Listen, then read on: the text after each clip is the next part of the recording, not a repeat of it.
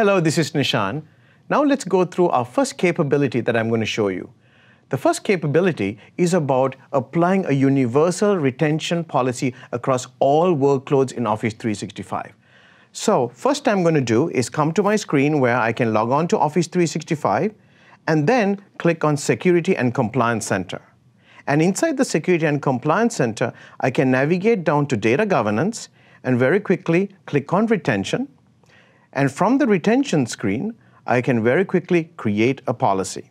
So this retention policy that I like to create for the service, let's call it General Documents.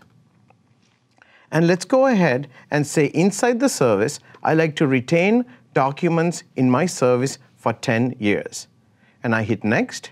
And here, very quickly, I get to see that I can run a universal policy across all my Exchange mailboxes, across all my SharePoint sites, across all my OneDrives. I can even include or exclude. Same with Office 365 and Skype for Business and Exchange folders.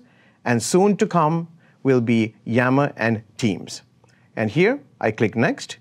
And then I can also, if I have to comply to the SEC 17A regulation, I can actually put a preservation lock here. Otherwise, I can hit do not turn on and hit next. And very quickly, I can summarize that policy and I can create that policy by clicking create.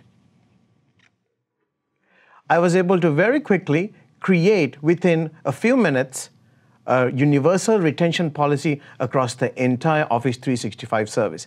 With that policy, what you did was you were able to preserve or retain information so that accidentally, if someone deletes information, you can actually recover it in the recoverables folder in Office 365. For more information about this, please visit our website on data governance in the TechNet documentation section.